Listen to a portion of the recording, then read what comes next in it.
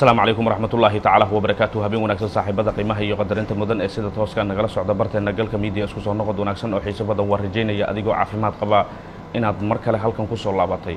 Waa rajaynaya adigoo caafimaad qaba in aad mar kale halkan diyaar ugu tahay in aad ka qaadatid xogtii aad in badan halkan uga barateen.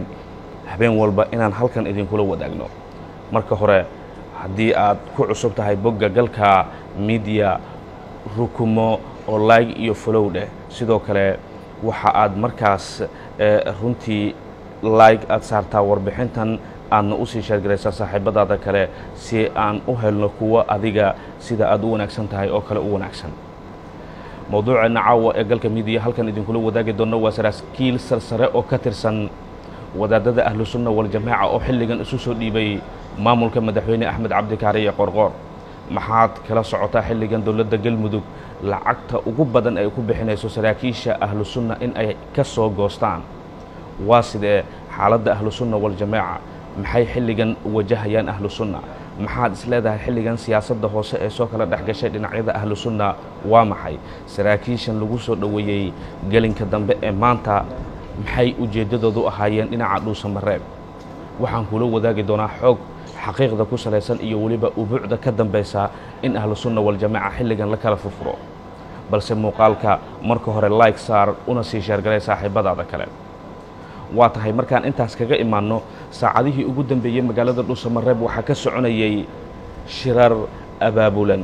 Sidoo kale waxaa ka soconayey in lagu soo dhoweeyo halkaasi saraakiil sasare oo ka tirsan ahlu sunna waljamaaca dhinaca ahlu sunna xilligan waxaa laga soo wariyey in ay wajahayaan culays uga imaanaya dhinaca maamulka galmudug maxaa yeelay xogta waxa ay tilmaamaysaa in saraakiil gaaraya ku dhowaad ilaa iyo shan iyo toban oo dhinaca ahlu sunna ka socda in dhuusamareeb ay isu dhiibeen.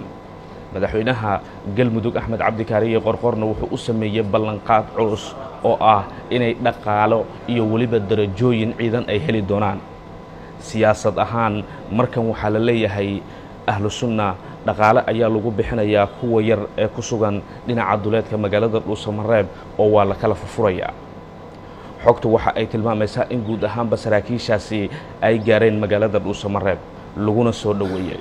Caashe sharaf caawa halkaas loogu sameeyey magaalada dhuusamareeb waxa ay sidoo kale xogtu tilmaamaysaa in guud ahaanba saraakiishaasi ay kuwo kale xilligan waddada ku soo jiraan oo ay tegi doonaan magaalada dhuusamareeb maalmaha soo socda maxaa yeelay waxaa la leeyahay in badan waxa ay iyagu markaasi yihiin kuwo doonaya in kuwo kale ay soo xarageliyaan.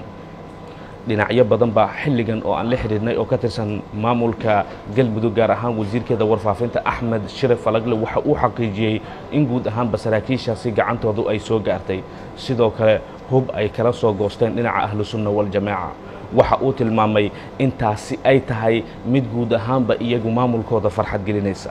Maxaa yeelay waxa uu tilmaamay in guud ahaanba xilligan kuwa yar ee harsanna ay maalmaha soo socda soo gaari doonaan magaalada dhuusamareeb sida uu xogta nala wadaagay qorshihii ugu cuslaa ee xilligan dhinaca maamulka galmudug madaxdeeda naga soo gaaraya waxa ay xilligan sheegayaan in guud ahaanba ay wadaan loolan adag oo ku saabsan in la kala furfuro siyaasad ahaan ahlu sunna waljamaaca weli ma aysan ka hadlin hoggaanka ahlu sunna waljamaaca kala furfurista dhankooda ku bilaabatay balse xogtu waxa ay tilmaamaysaa in guud ahaanba xilligan ahlu sunna iyaduna dhankeeda qorsho kale oo culus ay diyaarinayso sida ay xoguhu tilmaamayaan dhinacyada xilligan maamulka galmudug. Waxaa laga soo xigtay in dhaqaalo fara badan oo ay ka heleen dowladda yar ee lacagta qaniga ku ah ee qatar xilligan ay u adeegsanayaan kala furfurista iyo weliba in xilligan la iska hor keeno awoodda kooxda ahlu sunna waljamaaca balse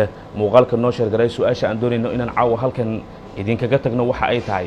Maxaad is leedahay xilligan halkee ayay ku dambayn doonaan haddii sidan loo sii kala furfuro saraakiisha ahlu sunna waljamaaca dhabarjab intee in la-eg ayay ku noqon kartaa sheekh shaakir iyo weliba macalin maxamuud kala furfurista ciidanka iyaga daacadda u ahaa xilligan lagu bilaabay.